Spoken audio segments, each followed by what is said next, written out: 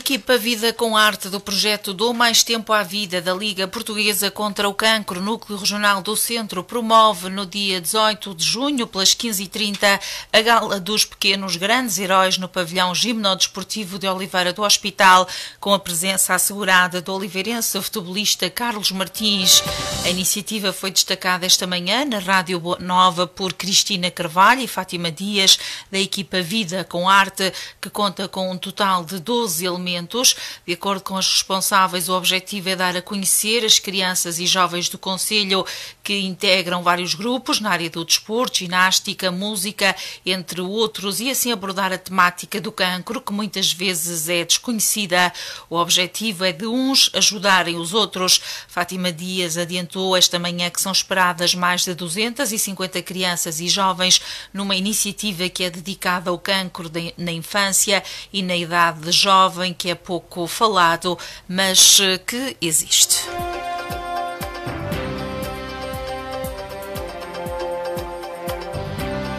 Fazer eh, jus às suas capacidades eh, de, de desporto, as suas capacidades lúdicas. Vamos ter crianças de patinagem, de, de, de acrobacia, de dança, de os coros. Portanto, dar um bocadinho também a conhecer os nossos pequenos grandes heróis e uh, de, uma, de uma forma uh, também uh, podermos levar esta temática que muitas das vezes é desconhecida. Portanto, uns ajudarem os outros. Ficamos esta gala ao cancro na infância e na idade jovem. Normalmente não se fala de cancro nestas idades. Fala-se de cancro nos velhos, fala-se de cancro da mama, fala-se de outro estilo. Nas crianças ninguém fala nisso. Mas existe, não é? Mas ele existe, infelizmente. É daquelas injustiças de Deus, mas pronto, existe. E ele prontificou-se desde o primeiro momento para estar presente e nós somos-lhe profundamente gratos por, por isso, porque ele ele sabe do que é que estamos a falar, claro, não é? Passou, eh, Exatamente. sentiu, sentiu, sentiu na pele. a aflição de Exatamente. ter um filho doente, felizmente claro. a situação ultrapassada. Está bem ultrapassada, é? graças a Deus uh, que está. Portanto, e o Carlos Martins, Cristina, vai ser também um atrativo para, para será a nossa, a nossa estrela, o nosso firmamento. e, e não só, voltando novamente à causa e à sensibilização, o cancro infantil é pouco divulgado. E, e, e, e no caso do Carlos Martins, eh, o caso dele foi divulgado porque ele era uma figura imediata, não é? E, e quantas crianças, quantos pais terão a passar por estas situações e porque não têm o mesmo o mesmo, não é? imediatismo. Portanto, é isso que a gente pretende chegar e divulgar e, e saber e, e mostrar que eh, aos pais e, e às famílias que possam passar por essas situações que pode haver sempre uma porta aberta alguém que os possa ajudar. E por isso é que é a nossa gala dos pequenos grandes heróis. Portanto, Portanto essa porta é a Liga Portuguesa contra, contra o, cancro, o cancro, não é? Equipa Vida com Arte que prepara já esta segunda iniciativa, a Gala dos Pequenos Grandes Heróis, que acontece sábado à tarde a partir das 15h30 no pavilhão gimnodesportivo de Oliveira do Hospital. Este é o excerto de uma conversa mais alargada que pode ouvir e ver em formato vídeo no site da Boa Nova em radioboanova.pt e também no nosso Facebook. A equipa de Nogueira do Cravo perdeu no domingo frente ao Vila Franquense por 2-1, resultado que ditou a sua descida de divisão. O Nogueirense termina assim a época no 14º lugar com 41 pontos. À Rádio Boa Nova, João Pires, técnico do Nogueirense, disse que a descida contrariou seu objetivo, que era de manter a equipa no campeonato nacional.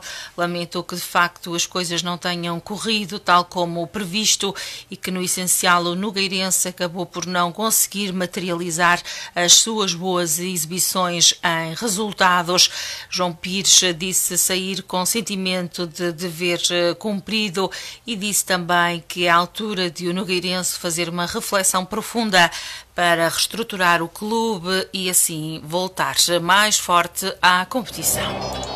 Claro que não. O objetivo era a manutenção. Nós fizemos um campeonato onde estivemos sempre longe da, dos lugares de descida. Uh, felizmente, nos últimos jogos uh, as coisas não correram como nós prevíamos. Uh, não conseguimos pontuar e sujeitámos-nos a ficar só com 41 pontos e no confronto de golos com as outras três equipas uh, de divisão, infelizmente. O que é que terá estado na base desta mudança de planos, se pudermos chamar assim? Portanto, alterou-se aqui um bocadinho o rumo do Nogueirense. O que é que terá provocado isso? Há um conjunto de situações, mas também não vale a pena estar a falar muito disso. Fundamentalmente, o Nogueira não conseguiu materializar as boas exibições em resultados. Um, depois, sentimos muito a falta de alguns atletas, por lesão e outros por castigo. Um, a nossa equipe foi muito castigada em termos de castigos. Um, e depois, uh, o leque de opções também era mais, curto e fez com que também as coisas uh, depois, uh, em termos de opções, fossem diferentes e fizeram com que nem sempre a gente tivesse a 100% e uh, em termos de atacantes refletiu-se muito em ter uh, as opções que tínhamos depois não conseguiram materializar em gols a boa produção da equipe. Portanto, acabou por acontecer esta descida, o campeonato distrital, um, em Nogueira do Cravo, eh, este, este, este resultado também não deve ter caído nada bem. É normal que não, não vá cair bem nas pessoas. As pessoas da Nogueira são afetas ao clube, gostam do clube, é normal que tenham um, um sentimento de tristeza por aquilo que aconteceu. Mas o futebol nem sempre é justo e acho que castigou-nos de uma forma que nós não estávamos à espera. Agora, é, eu saio com um sentimento de dever cumprido, porque penso que a equipa técnica e os jogadores tentaram tudo mas não conseguimos, infelizmente. Ainda será prematuro falar se continuará ou não uh, o lema desta, da, da equipa agora no, no campeonato distrital? Sim, é prematuro agora falar. Portanto, há que haver agora reuniões e refletir um pouco naquilo que foi o trabalho do Nogueirense, certo? Sim, acho que o Nogueirense tem que hum, fazer uma reflexão profunda, eh, as pessoas de Nogueira também, para o que é que querem mesmo para o clube, para poderem depois é, reestruturar se calhar o clube e voltar mais forte. João Pires, técnico do Nogueirense, em declarações à Rádio Boa Nova, numa altura em que já é conhecido, esta, já é conhecida a descida da equipa à competição distrital, o Nogueirense que militou nos últimos nove anos no Campeonato Nacional.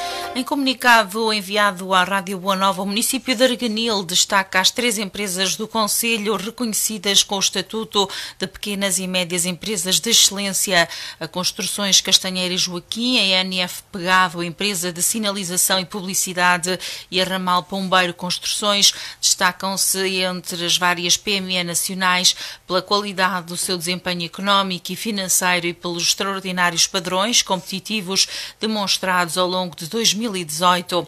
Revelando-se honrado com estas distinções, Luís Paulo Costa, presidente da Câmara de Erganil, salienta que este é o reconhecimento do incansável trabalho e empenho dos empresários do Conselho e da notável capacidade que têm demonstrado em se reinventar para enfrentar os desafios. São empresas que são responsáveis por dezenas de postos de trabalho que contribuem diariamente para o desenvolvimento e riqueza do território. Merecem, por isso, respeito e gratidão da autarquia, que vê medidas como isenção do pagamento da derrama anunciada no início do ano, o caminho certo para a valorização e crescimento do Conselho.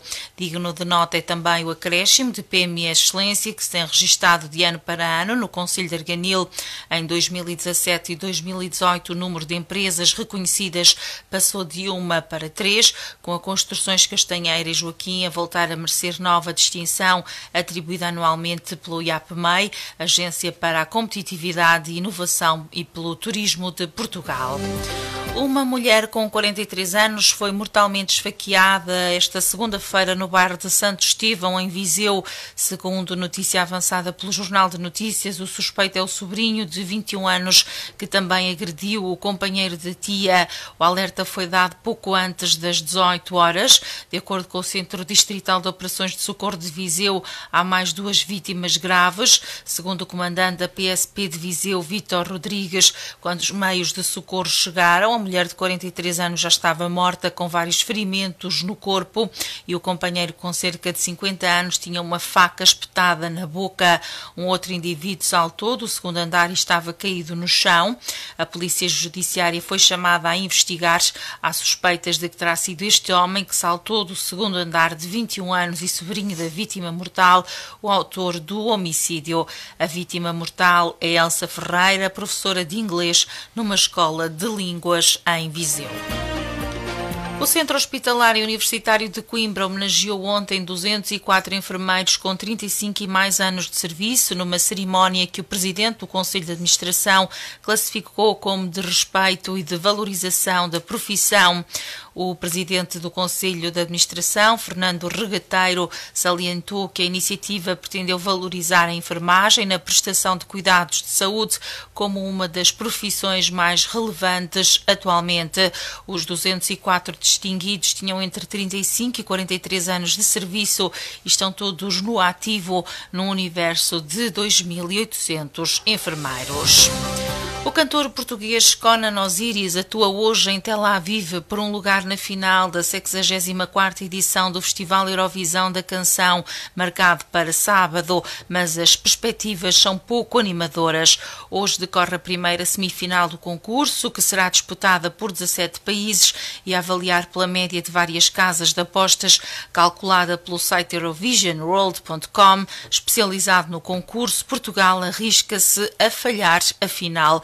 Portugal, que concorre com a canção Telemóveis, interpretada e composta por Conan Osiris, ocupava na segunda-feira o 12 lugar na lista de preferências dos apostadores relativas à primeira semifinal do concurso, mas só 10 países passam à final.